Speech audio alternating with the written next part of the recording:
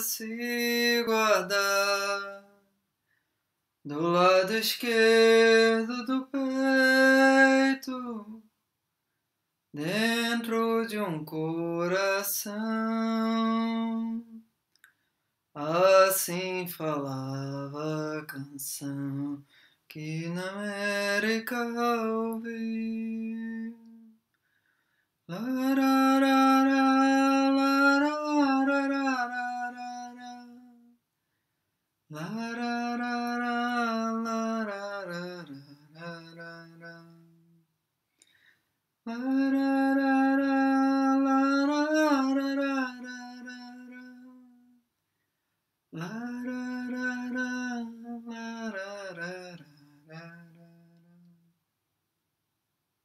Eu sei que dá vontade de continuar, né? Mas. Venha o que vier. Bom, mas vamos nessa. Chegamos à nossa querida Nakshatra Anurada. É, a pequena, a seguinte, é aquela que anda junto de Arada, que no caso é Vishaka. É, vocês vão ver várias vezes as pessoas falando que essa é a Nakshatra de Irada. Mas em sânscrito isso não faz muito sentido. Anu tem essa conotação de pequeno, aquele que vem junto, aquele que acompanha, etc. Então, vamos entender por que, que isso se dá. Essa Nakshatra, o Devata Mitra, um, que é o grande deus do, da amizade. Por isso, nosso amigo Milton então, chegou aqui hoje. Um, teoricamente, eu estava estreando um microfone novo hoje, só que não consegui configurar o computador, então não era hoje o dia ainda. Vamos às simbologias aqui. É, bom, então aqui uma das simbologias é a flor de lótus, que vai ser um dos símbolos que a gente vai ver dessa nakshatra. Tem também esse aspecto do do lugar onde ainda é um pórtico, só que é um pórtico com uma natureza diferente. Aqui é um pórtico mais relacionado a, ao casamento, etc. É, aqui ele é governado por Shani, é, em termos do Vinshottara e Dasha. Ele tá, ainda faz parte desse elemento de Agni, Panchamahabhuta. Aqui aparece Shani de novo na imagem do Prash Trivedi. É, tem bastante música, vejam bem, não estou à toa com o meu tom aqui. É, isso daqui está relacionado a o signo de uh, Vrishika, que é escorpião sideral. Aparece aqui uma parte do símbolo de Vrishika que está relacionado a isso daqui, por isso que um dos elementos, um dos símbolos é um bastão mas aqui o bastão é, seria melhor como cajado, porque tem a ver com os sábios também, etc. e tal. O que, que mais que a gente tem de elemento nessa simbologia aqui? As pessoas estão cantando, elas têm um momento agradável, próximo de um lago, tem um monte de lótus, é um momento de desfrute. Aí você vai falar, cara, como uma nakshatra no meio de Vrishika, escorpião sideral, governada por Shani, pode ter uma energia tão amigável, é porque o Devata é Mitra. Então, sem esse entendimento dos Devatas, fica um pouco difícil a gente entender toda a, digamos assim, complexidade das nakshatras, porque a gente estuda, no geral, de outros muito através do Rashi, muito através do Graha, etc. e tal. E, de fato, de fato, o de outros vem a partir é, dessas é, referências mais profundas da cultura védica. E nesse sentido, é, os devatas têm muita importância. Esse livro que eu sempre gosto de mostrar, The Divine, coitado, tá ficando acabado, The Divine Forces of Lunar Nakshatras, da nossa amiga Radhe. Ah, cadê a foto dela? Tá aqui. Achou? Um, é um livro muito bom. Eu acho que eu falei no vídeo anterior, tem uma entrevista dela no Saptarishis The Lady of Nakshatras, com Sunil. Muito boa essa entrevista. Um, eu acho que o animal é coelho ou qualquer coisa assim. Um, deer, acho que é viado. Um, mas tem que pesquisar. Eu ainda não estou falando muito disso. Então, vamos adiante. Se eu faltou falar alguma coisa aqui. Ah, essa questão da amizade, da docilidade. Uh, esse daqui provavelmente representa Mitra, com toda a sua cordialidade, amigabilidade, etc. Vamos adiante. Então, essa é, as imagens aqui de Vrishika não estavam muito boas, estão meio pequenas. Eu botei aqui uma outra extra para mostrar que tem essa essa esse tanto essa linha vertical quanto uma outra linha mais horizontal formando esse T, que é a parte relacionada à Nurada. a outra parte, que é o coração do escorpião, vai ser do Jesta, com Antares. E aí depois essa outra parte do rabo já vai estar muito relacionada à mula também. mas isso a gente vai ver depois. Está aqui mula. É, bom, a questão do Rashi de escorpião é uma questão bastante ampla, não vamos entrar aqui nessa discussão toda, mas que tem um outro Rashi, tem um décimo terceiro Rashi, que seria o décimo terceiro signo. Mas no de outro a gente considera padrões kármicos. E a gente entende esses padrões kármicos a partir de grosso modo de organizações estelares. Mas não que as organizações estelares sejam a causa disso. Elas são a representação disso, mas... Bom, continuando, é a décima sétima desse ciclo uh, materialista de Tamas e nesse ciclo as coisas já estão num processo intenso de transformação desde lá de Swati, quando ela começou a, digamos, a se questionar, passou Vishaka, realmente começou uma crise existencial, em Anurada a, a questão já está grande e já está buscando uma, digamos assim, uma transformação mais evidente, mas isso ainda não está tão claro por onde ir. E isso vai acabar em Diesta, onde vai chegar a grande questão que é preciso deixar aí o apego ao materialismo e é preciso se jogar pro divino. e vamos que vamos. Então, uh, o nome dessa nakshatra em IAST é Anurada, que a gente vai ver já já algumas diferenças disso. Nakshatra então eu estou começando a ficar um pouco mais ambientado dentro do sânscrito. Então esse som é. A língua vai para lá no céu da boca. Ah, que nem o som de kr, na. Então não é que nem de Shiva, é que nem de kr, na. E o som do a é a, não é a. Então Anurada Nakshatra. Simples assim. Daqui a pouco, qualquer hora, sair os vídeos de sânscrito.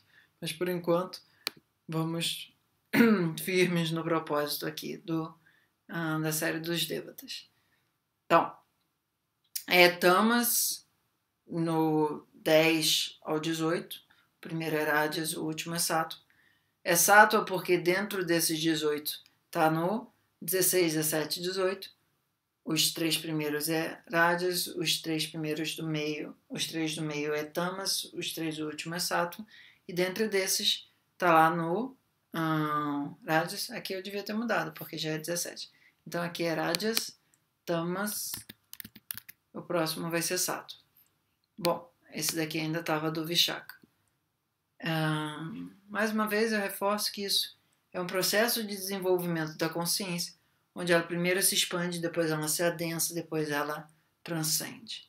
E dentro do ciclo das 27 nakshatras, você pode ver o primeiro terço como de expansão, o segundo terço de condensação, o terceiro terço de transcendência.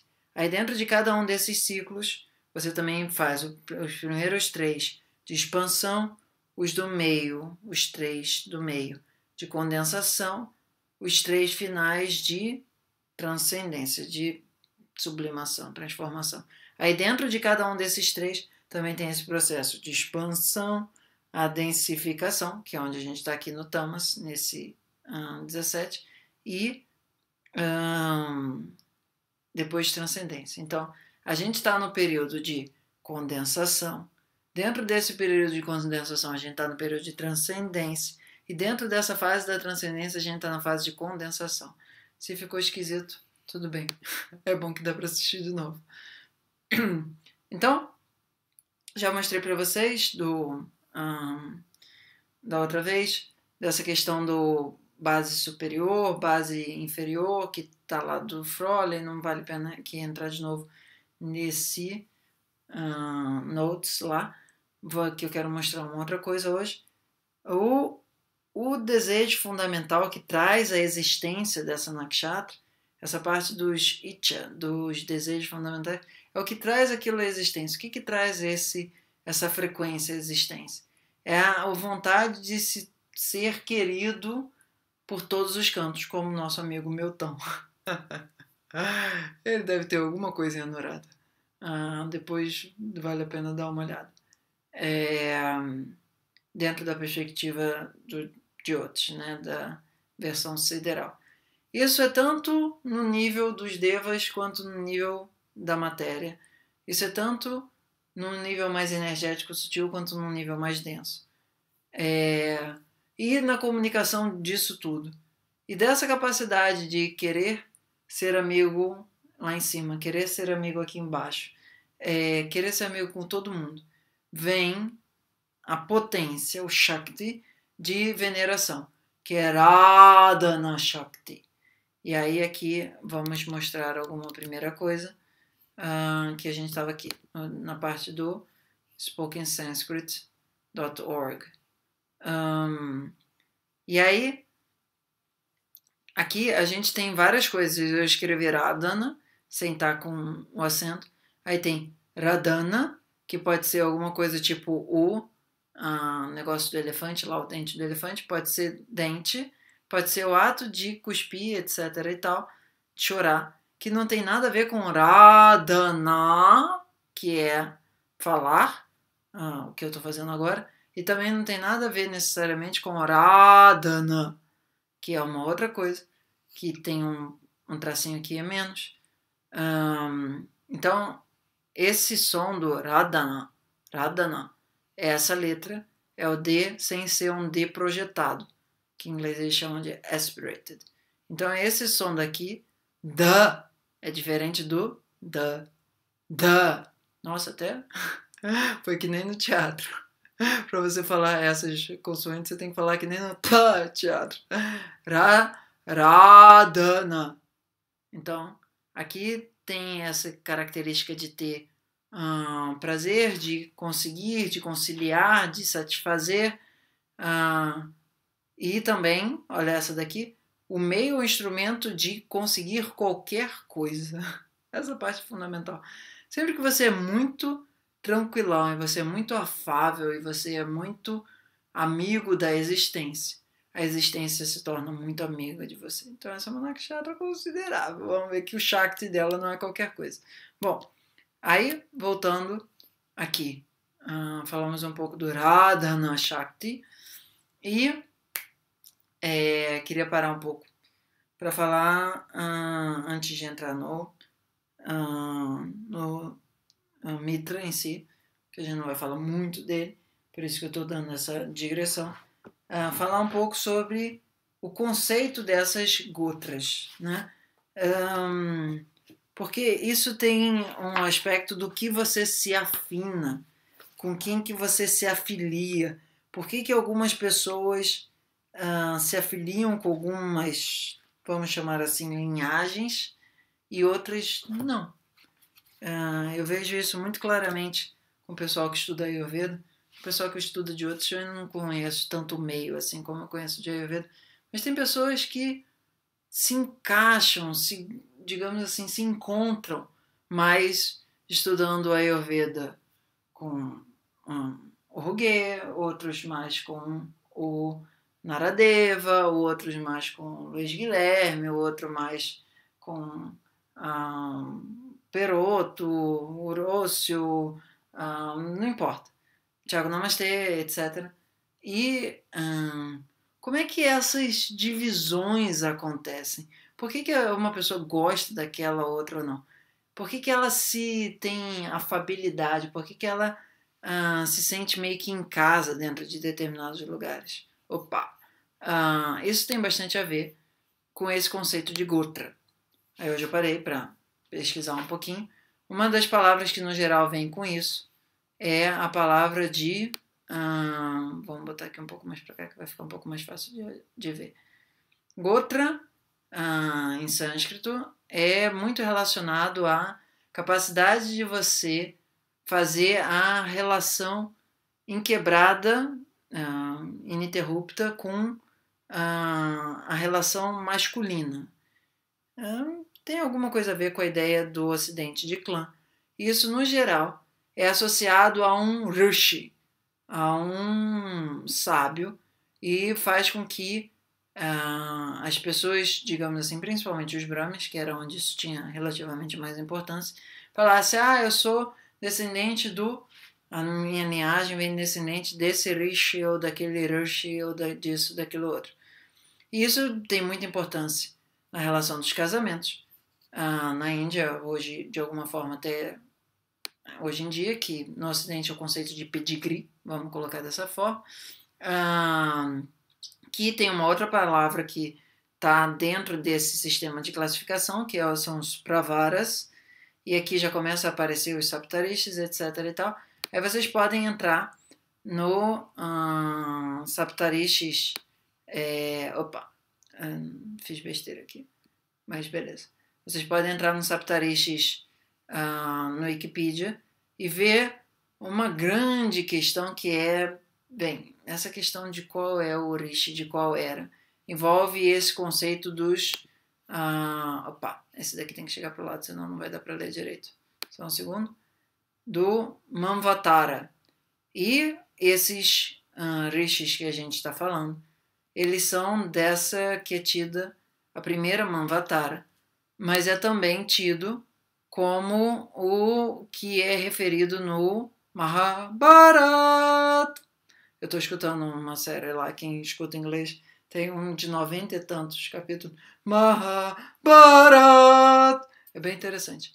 Um, mas esse site daqui é um site Vaishnava e ele é bem interessante para. Uh, fantástico essa parte, vale a pena a gente dar uma lida.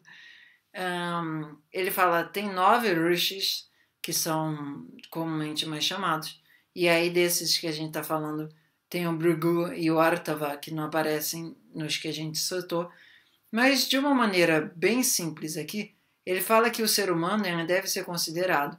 Isso daqui é do Srimad Bhagavatam, que é um texto bastante importante dentro da tradição Vaishnava, que é o canto do divino, teoricamente. Um, isso é o próprio escrito de Krishna, um, como a gente já falou hoje. Krishna. É difícil no dia a dia ficar falando de Krishna, mas não é Krishna, é Kr. O som do Kr sai, sai certo Kr, Kr, Krishna. Bom, foi. Ah, e aí ele fala que o ser humano deve ser considerado como aquele que nasceu duas vezes, uma pelo pai e pela mãe, e outro pelo ah, conhecimento dos Vedas, dessa cultura de desenvolvimento espiritual, etc. e tal. E ah, quando você faz parte de uma mesma gotra, de uma mesma linhagem de Rish, você tem não só um uh, gosto parecido em relação à parte sexual, mas também em relação à vida. E quando você não tem isso, é, fica muito difícil manter a harmonia dentro do casal. E uh, ele coloca aqui sobre o dia a dia de hoje em dia. Uh, hoje em dia, se as pessoas têm um digamos assim, prazer, prazer sexual suficiente, eles continuam casados. Se não tem, se separam. Mas ah, isso depende de alguns fatores dentro do a parte do combinação de ah, mapas, né? No geral na Índia entre um homem e uma mulher, mas modernamente talvez isso pudesse ser estendido também para relações ah, homossexuais que seja. É, mas aí já é um outro tema. E aí tem toda essa característica do como, se você tem pessoas de naturezas próximas, elas conseguem conviver bem. o que é chamado de Asura consegue viver bem com Asura, o que é chamado de Devata consegue viver bem com Devata, Manusha, que é humanoide, uh, com humanoide. Tem várias regras ali. A gente não quer entrar aqui em tanto na questão técnica da coisa, mas essa frase aqui eu achei que valia a pena trazer. No 12 canto do uh, Srimad Bhagavatam, nessa idade de Kali, uh, as pessoas levam o casamento a partir prioritariamente do sexo. Uh, quando eles estão satisfeitos com ele, eles continuam, quando não estão, não estão. Aí agora, isso não é de fato um casamento, mas uma combinação de homem e mulher como gatos e cachorros. Então, ah, as crianças produzidas na Idade Moderna não são exatamente seres humanos, porque eles não se voltam ao conhecimento espiritual, ah, porque eles são criados a partir de relações que é, são muito cruas, são muito voltadas apenas para um, uma relação como um gato e um cachorro têm. Ah, mas eu achei que valia a pena é, trazer esse contexto daqui porque a gente vai estar tá falando agora de uh, Mitra, e Mitra tem muito essa questão da capacidade de ser amigável, da capacidade de ser uh, cordial, da capacidade de ser bem aceito e. É, como é que se diz? Um, de alguma forma, bem-vindo por todos. Bom, aí tem toda essa questão dos, das manvataras, etc. e tal. Eu sinceramente ainda não tenho capacidade de entender isso de uma maneira muito indiana. Minha cabeça ocidental ainda atrapalha muito. Um dia eu chego lá. Mas vamos voltar para o nosso a nossa apresentação. Então, a gente já falou que é, não falou, mas parou ali. Esse é de uma linhagem, de um grupo, de um clã da galera do Angiras, que é um um bastante quente, bastante, digamos, é, intenso, etc. Uh, ah, mas também muito caloroso, muito amigável, só que com umas, de vez em quando, umas explodidas, etc. e tal, que é bem interessante em relação a o uh, Frushikarash. A partir de agora eu acho que eu vou começar a pesquisar um pouco mais esses rishis, porque pelo menos a tabela ah, grudou na cabeça, pelo menos em termos de função, entendimento geral. Agora eu acho que eu consigo ir um pouco mais adiante no entendimento específico. Aí tá girando, né? Se gira no sentido horário. Foi norte, leste, sul, aí o próximo vai ser oeste. Nessas direções que a Comila dá nesse livro de nakshatras dela. Um, que mais? Uh, os símbolos a gente já falou. Finalmente chegamos ao uh, Devata, que a gente vai ler, é o capítulo 12. Não dá para ver nada, né? Mas que seja. Capítulo 12 desse livro da Radhe.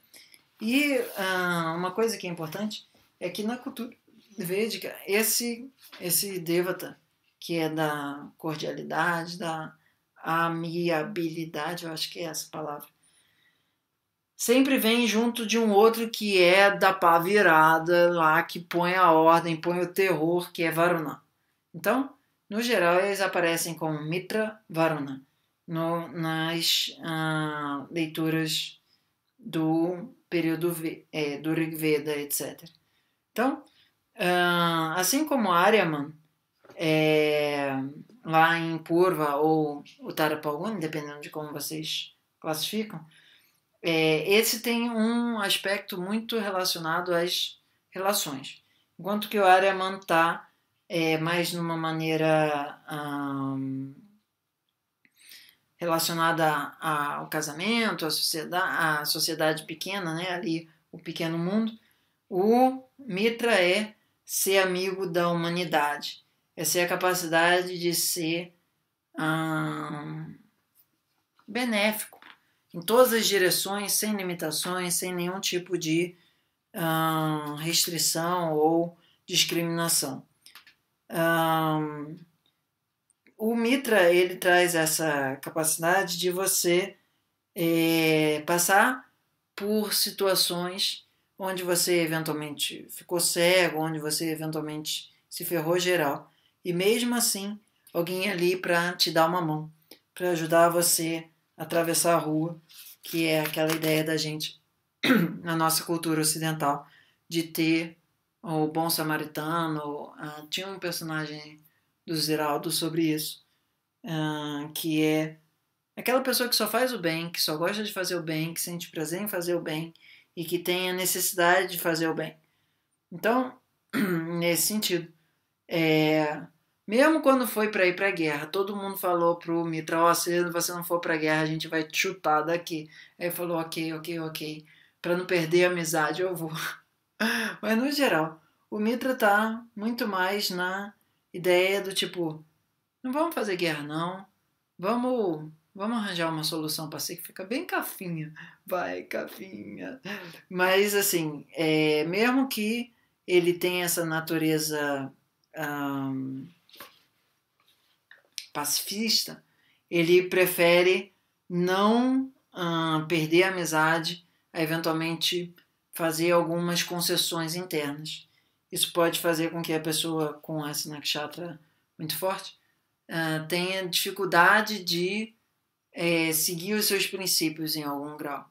E muitas vezes acaba cedendo para não brigar, para uh, não ter é, conflito, para apaziguar a situação. Então, por exemplo, meu Shani está nessa nakshatra. Muitas vezes eu tenho uma certa dificuldade, é claro que tem um Kuja lá bem da pá virada no meu mapa, mas ah, de falar não para a pessoa porque eu prefiro às vezes não brigar e etc e tal, fazer com que a situação ela não chegue num nível muito crítico. Se não precisa explodir, não vamos botar a bomba. Então, eu consigo, é, digamos assim, perceber na minha no meu dia a dia, assim, nas minhas convivências, é, muito dessa característica, assim, de às vezes depois fica difícil ficar naquele lugar, porque nessa história principal, o Mitra, eh, todo mundo estava indo querer lá matar o Vrita, que é o, o que o Indra vai uh, dominar, matar, etc e tal. E aí, quando estava indo todo mundo essa aliança de geral para destruir esse aí eu sou mas que seja.